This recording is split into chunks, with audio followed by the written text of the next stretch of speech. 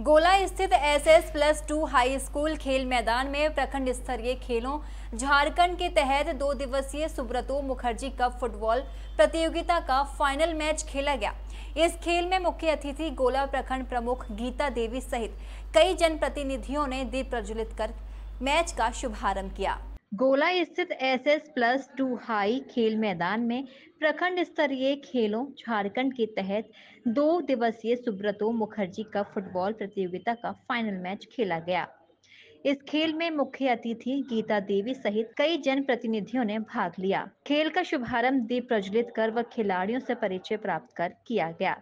वहीं अंडर 14 और अंडर 17 बालक वर्ग में S S plus two high school Gola व अंडर 17 बालिका वर्ग में उत्क्रमित हाई स्कूल चांडी हिंदी कोला प्रखंड विजेता बने।